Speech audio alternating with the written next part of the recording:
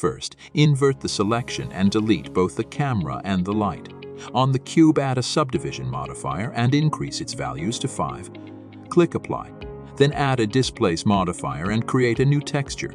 Change the texture type to Voronoi and increase its size to 1. We now have the basic shape of the rock, but it's way too dense. To, to solve that, add a decimate modifier and change its ratio to 0.2. Apply it, add another decimate modifier to the ratio of 0.5 and click Apply.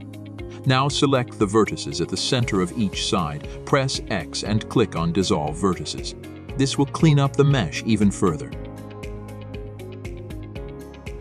Go to the viewport shading options and enable cavity.